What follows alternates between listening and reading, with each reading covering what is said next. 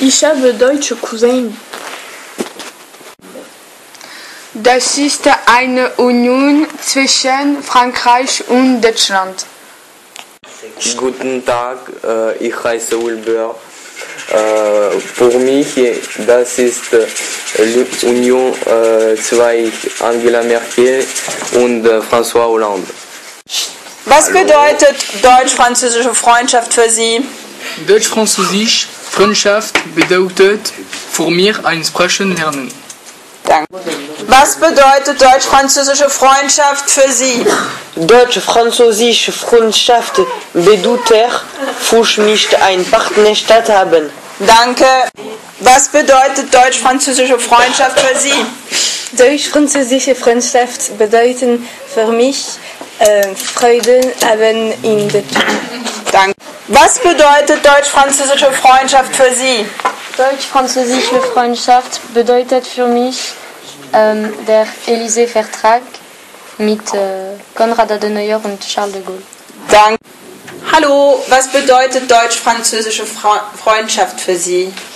Äh, für mich äh, der Élysée-Vertrag äh, ist ein äh, Austausch mit, mit Frankreich und Deutschland. Gut, danke schön. Hallo, was bedeutet für Sie deutsch-französische Freundschaft? Also für ich deutsch-französische Freundschaft ist eine junge Freundschaft. Ähm, es gibt diese Freundschaft äh, seit der Ende des Zweiten Weltkriegs. Äh, heute ist die deutsche-französische Freundschaft vor allem eine Wirtschaftsfreundschaft. Dankeschön. Hallo, was bedeutet für Sie deutsch-französische Freundschaft? Für mich, das ermöglicht, in das andere Land zu gehen, zum Beispiel mit dem Programm Erasmus. Gut, danke schön. Hallo, was bedeutet für Sie deutsch-französische Freundschaft? Äh, wenn man über die deutsche-französische Freundschaft spricht, äh, denke ich sofort an den Élysée-Vertrag. Äh, für mich äh, symbolisiert es das Ende einer langen Periode der Spannungen zwischen unseren beiden Ländern und das Anfang einer brüdlicher Zeit. Danke.